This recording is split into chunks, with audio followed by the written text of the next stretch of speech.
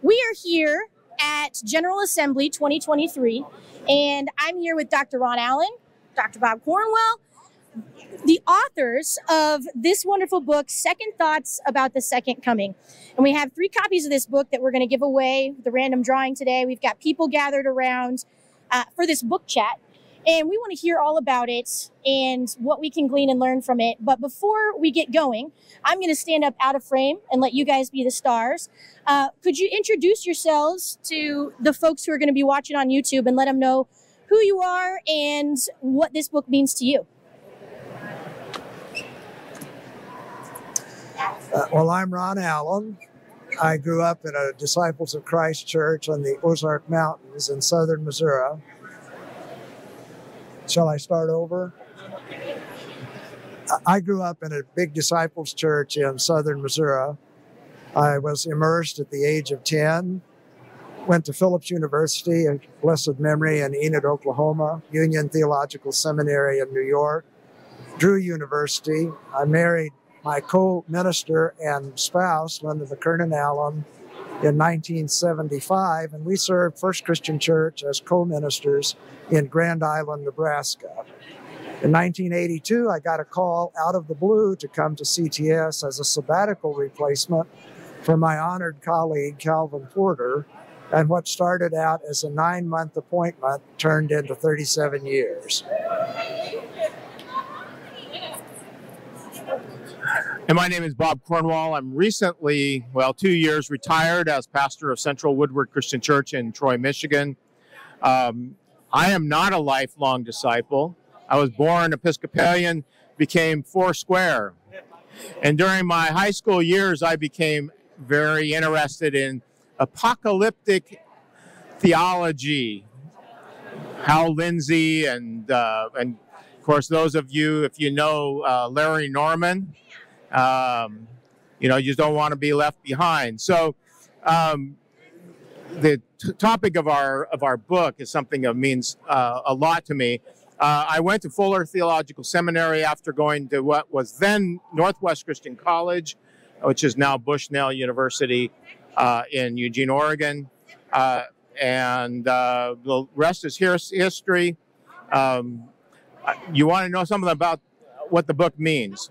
So first of all, I'll just tell you that uh, Ron was up. It was sabbatical for me, and Ron came up to do a um, a workshop for my congregation.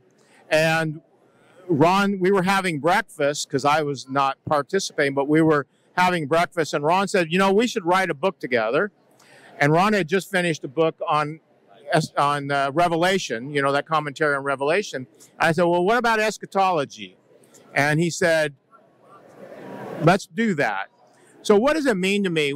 This is what my word to anybody who's uh, listening and watching, thinking about the book is Ron and I wrote this book for two reasons. One, as me as a pastor, he as a Bible teacher in congregations, we have noticed that many of our members of our congregations have questions about eschatology. They might use that word, but they have questions about the future and is Jesus coming back and what about the afterlife?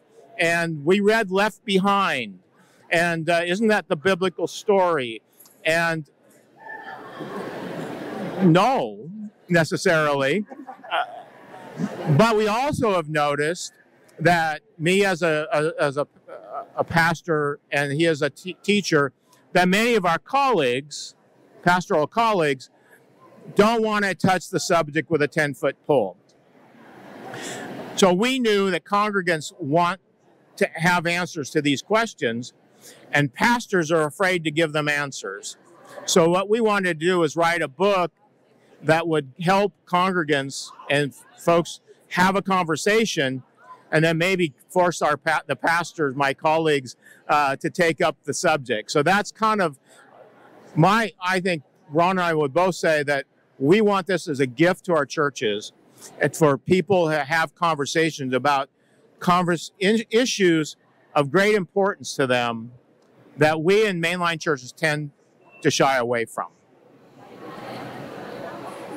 I might add that a lot of books in the field of religion argue a point they try to persuade the reader of the correctness of their particular theological point of view. This book, as Bob implied, does not argue a point. It lays out options for understanding the second coming in the world of the Bible, in church history, in contemporary Christian life, and tries to help people sort through which ones are the most consistent with what they really want to believe. So it's really a conversation starter that tries to put people in the position of coming to the clarity as best they can regarding what they think God's role in the future is. I think that's an important clarification because we hear often from congregants, people in the church, people in the community outside of the church, that they feel as though they have to believe a certain way, or they think they're, to your point, Bob, isn't that the biblical interpretation as if there's one? So for people to know that there are compelling options that are valid and that they can sift through what resonates and what holds true and what doesn't, I think is a powerful thing. For people reading this book, what do you hope that uh, is the mindset they bring to engage with it? I hope they will, more than anything else, bring curiosity and openness and the willing to engage texts both in the Bible and elsewhere in their otherness and let the text sort of spark possibilities. For the most, I, I agree. I mean, what we want is for people to be engaged in conversation. It's it's a book that can be read by you know individually, but I think Ron and I would agree that this is kind of the book that really is going to work best in in group, so that people can share, and because they're I, my sense is that as people read the book, they're going to find different elements of the book compelling. So they may find the biblical stuff compelling. They might find the historical materials compelling. They might discover that, oh, because it's in there uh, in the historical part, that Muslims believe Jesus has something to do with the second coming. They believe in the second coming. My guess is that most people don't realize that. Uh, so they might find different elements of the story that they find compelling and by sharing together, they're going to be able to learn more about what are the options and the possibilities. They may not all come to the same point of view, but they may find that they they have a, a richer understanding of these issues that that are there in front of them. So at this point, I'm going to come to some of the audience that we have standing around for this chat and give them a chance to ask the question we're obviously in a in General Assembly in the midst of this airplane hangar that is a convention center. And so we've got these microphones. I will come hold the microphone for you. If you could say your name um, and where you're from and ask your question uh, nice and loud, I'll make sure uh, I can restate it with my coach voice if need be, and we'll give you guys a chance to answer. I wonder if we could do a five or six sentence outline of what's in the book, just so people have a sense of that. Absolutely. And I think likely, Dr. Allen, as one of your students, this is a good moment for me to remember I have much to learn from you. That's probably a good idea to do before we ask them to ask questions. so please, go ahead. It's a matter of exegesis before preaching. Uh, why don't we we'll take the chapters that we wrote. I did the first section, which is on the Bible, concentrating first of all on not the second coming, but God's ultimate purposes, different viewpoints on that in the Torah, prophets, and writings. And then the two main streams of thought on God's ultimate purposes, specifically related to the second coming in the Gospels and letters. And then Bob picks up for a little while. So, so I wrote two chapters on the history. So the first chap, chapter, historical chapter, takes it from basically the second century up to the Reformation, uh, and the second chapter is from the basically from the Reformation, uh, basically to the beginning of the 19th century. What it what we tried to I tried to do with that portion is to help people know that on these questions there have been a lot of different viewpoints developed over time, and that what we have today is uh, is an inheritance as as the church in its various forms interpreted those texts that Ron uh, spoke to. Um, and uh, it's a length; those are lengthy chapters. And uh, as two of our readers told us uh, as we wrote them, they were tough going at points, but I think they're going to be very useful if you're willing to plow through them, because history's that way. So let me get this straight. Uh, history chapters are long. Big surprise there. Yeah. Uh, but compelling. Yes. From the perspective of a historian. Correct. And as a history nerd, I'm, I have to say I'm excited. So I'm glad you left that in there. Um, are there any are there any conclusions that the book comes to? Well, it actually covers some more ground before we get to the conclusions. Um, I did a chapter on the three great millennialisms, which sort of bridges history and is also contemporary premillennialism, amillennialism, and postmillennialism. And then we have a chapter on contemporary appropriations in different theological families, like uh, demythologizing. Brent Hayworth was in the room where I first heard the name or the word demythologizing. Uh, liberation approaches to God's ultimate purposes and pro- process approaches. And Moltmann. Oh, yes, and Moltmann, the theology of hope. I would say that for a historian, he has a very accessible style of writing. and, and, I have to tell you this, and as far as those millennial chapters, uh, we had uh, a lot of debate. So I had to convince Ron that uh, dispensationalism and premillennialism are not always synonymous. So he, he finally gave in uh, to my uh, to, to my push. Um, but um, the post millennial, I'll have to say, the post millennial one should be of interest simply because of the political implications today in terms of Christian nationalism, which we talked about yesterday. There are uh, some things that are drawn from postmillennialism. If nothing else from the book, that chapter is probably going to have some implications for contemporary conversation. And then we also have a chapter that moves from the second coming and God's ultimate purposes to visions of the afterlife. What, what might happen in the beyond according to voices in church history. We wanted to do a whole book on just that, but Westminster John Knox thought it could be nested in this larger project. And then Bob did a study guide. So it's a study guide for at least, at minimum, six weeks, though the biblical uh, sections probably could be divided into two sections, and Hebrew Bible and then New Testament, if you wanted. Uh, so the, it could be anywhere from six to eight chapter uh, weeks sessions, uh, but and when we I wrote the in a way that there's lots of questions, you don't have to use them all, but there's enough there to for whoever's leading them to create really good conversation. So this is also a resource that congregations and communities could use to engage with one another in community. That would be our goal. And then Ron created uh, two resources for preachers, but those are on the Westminster John Knox website.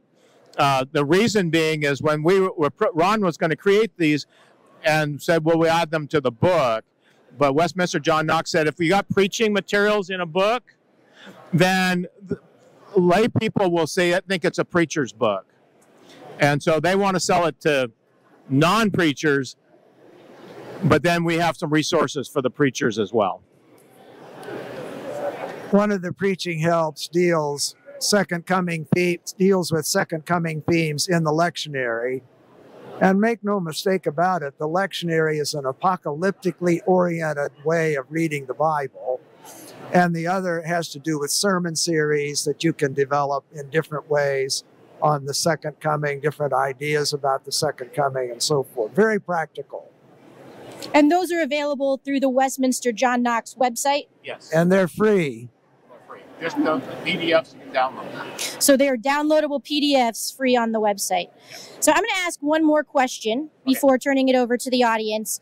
Um, and obviously, with with taking this book on the road now, you're having conversations, and you mentioned uh, the the referendum that was discussed condemning Christian nationalism. I think for some people, they think second coming, and they either think far in the future or they think far in the past about when this was discussed or when biblical texts were written. What do you see as the main um, points of engagement that people can use as anchors for why this matters in our current context? Well, the first thing is to realize the structure of postmillennial thinking, which incidentally is the eschatology of Alexander Campbell. So it's in our DNA, even if we don't claim it or talk about it in these terms. In simplified form, it's the idea that the church needs to get busy and clean up the world and establish a, a miniature version of the values and practices of the reign of God, at the end of which, when we've done our job and things are set up, Jesus will come back and complete it and put it in place for eternity. Christian nationalism, even when it doesn't operate under the language of postmillennialism, understands its job to be to establish Christian values as authoritative in every arena of human life the individual, the home, the church, and the social order. So you hear them talk about a Christian nation. What they mean is establishing their version of Christianity as the legal premise on which our whole society operates. And for them, it is a holy cause. It's not just a political option, whatever complications it may have in the way of guaranteeing social power, benefiting certain groups. At root, there is this deeply theological conviction. And until we address that, it's here to stay in one form or another. So, Ron, you, you mentioned the the postmillennial Christian nationalism connection that here, but the the last two words of the subtitle speak of Christian hope, and that is, in my mind, our ultimate goal is that people look can use this to think about the future what the scripture and theology says about the future and ultimately have a sense of hope. Whether we believe that Jesus is going to come back literally or not, uh, and we don't necessarily take a position on that in the book, we leave that open. Whatever your position is in all of this, our hope is that it, the conversation will enable people to think about the future in a way that will bring them hope and that they can contribute to the betterment of the world. So sometimes apocalyptic theology is is seen as, you know, it's like, well, there's going to be disaster and and Armageddon and and uh, you know maybe it's going to be around the corner, so we don't even have to worry about the world. But that's not necessarily the case. And so if we can have a hopeful view of the future, we help create that we talk at Christian Theological Seminary about God's transforming of the world and working towards this liberative, restorative justice, this wholeness for all that, that is happening right now. We had Dr. Bill Kincaid here for a book chat yesterday, and he interviewed leaders during COVID. And one thing he mentioned in a takeaway for his book was despite this horrible pandemic going on, there was such a sense of hope with those he interviewed for pulling out how we were growing and transforming. And so that's something that I think is timeless, but is particularly of import today. Right. I'm going to now turn to our audience. And if you have a question, if you can give me a little hand wave, I'll come over and you'll want to hold this right towards your mouth. Say who you are, ask your question, and I'll restate it if need be. Hi, my name is Debbie Harmon. Um, and in speaking of eschatology and apocalyptic thought, it often, at least in congregants I've known, evokes fear. Is there lines of thinking in the book that move them from fear to the hope that you speak of? So I'll say the first thing. So there's a question of the people's sense of fear when they think about apocalyptic or eschatology. So uh, one of the things I think is information is helpful to to relieve fear. So if you begin to understand the options and the possibilities, and know that yeah, there are views that would you could take as fearful, but that there are other options that are not. I think the conversation, by actually having the conversation, will re, uh, relieve a lot of the fear because I think a lot of the fear is rooted in the sense that people have not had that opportunity to have conversation. And the fact that, as we, I said, a lot of pastors don't want to talk about it. I, I think finally the antidote to fear is having an adequate understanding of God. And we try in this book to point out how specific biblical and historical movements portrayed God in relationship to what they understand God's ultimate purposes to be. And we believe that ultimately God's purposes are redemptive, renewing, transforming. And it's a question of how you think God will operate and how to be responsive to the divine initiatives. And, and I think along with this goes naming aspects of the popular presentation of apocalyptic end time thinking that is all over the airwaves, visually and auditory, all over the inexpensive, easy to understand literature that you can pick up at the grocery store. Understand that, try to help people understand that that's a caricature. It does have certain roots in history, but they've been blown out of proportion. And learning to frame these things historically and theologically can go a long way toward transforming one's attitude toward these issues. But there are no magic bullets here. You have another question?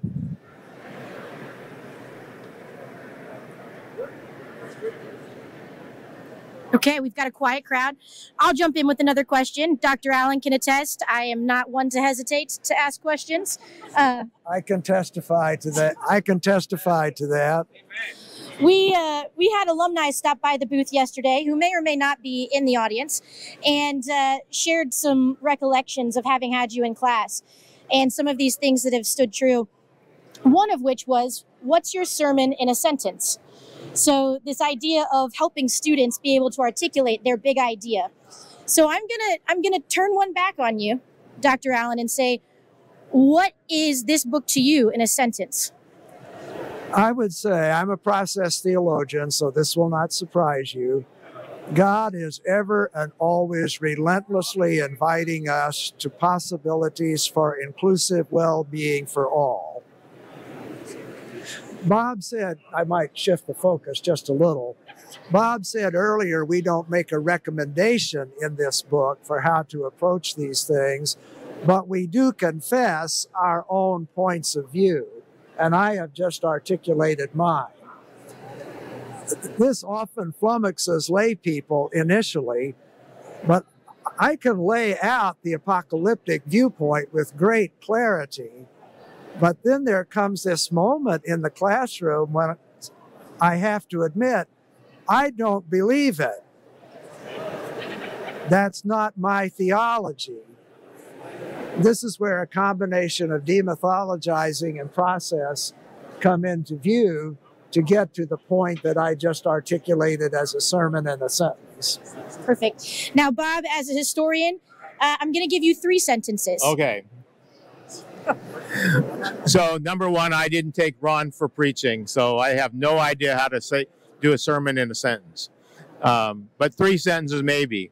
So one thing I, I can say from my own perspective is that historically, the church, in all of its existences and forms, has had a sense of the future. They don't always agree, but there's always the sense that that, that we're moving forward.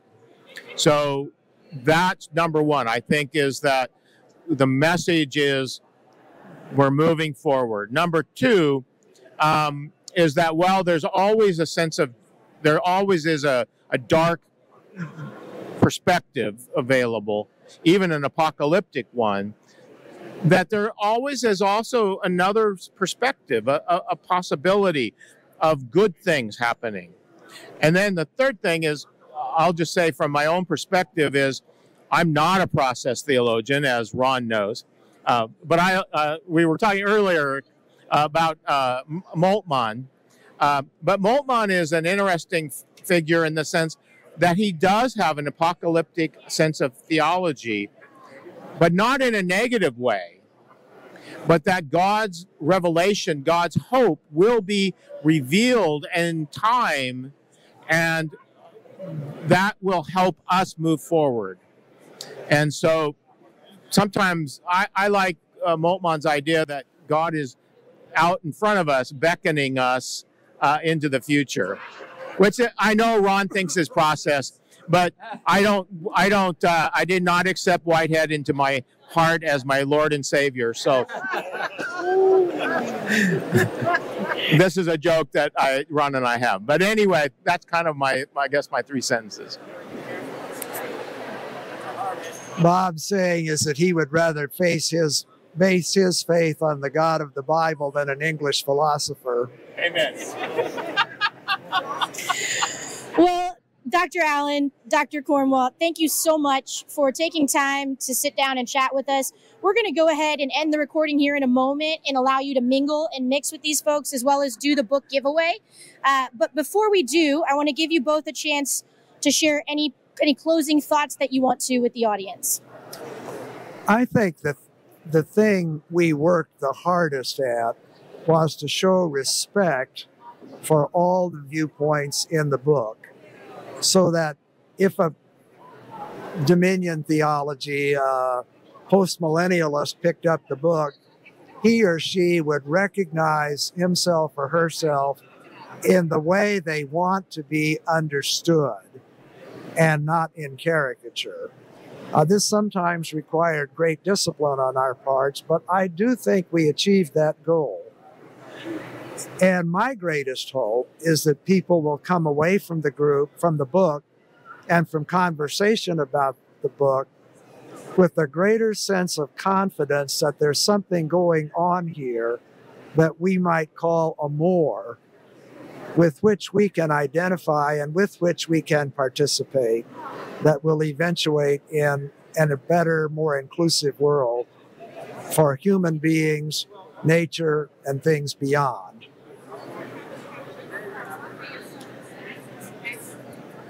So I'll just kind of reiterate kind of what I've I've said, and that's just the sense that my, we have this sense of hope that it will be utilized in a way that will benefit the church.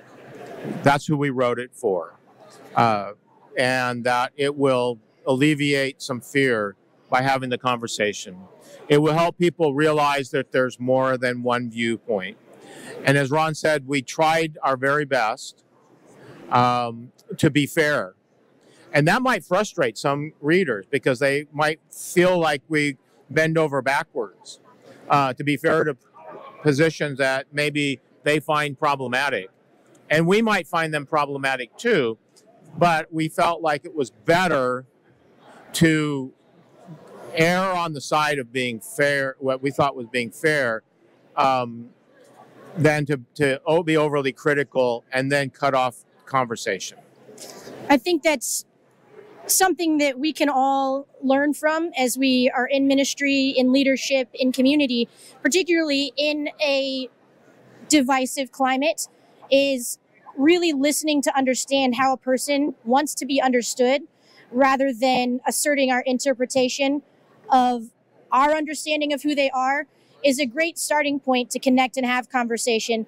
It sounds like that's your real goal is that this book will produce that kind of conversation. Yes. And I look forward to seeing the work that it does, the impact it has. And uh, again, thank you very much. And we thank you for tuning in. We're going to pause to let you guys interact.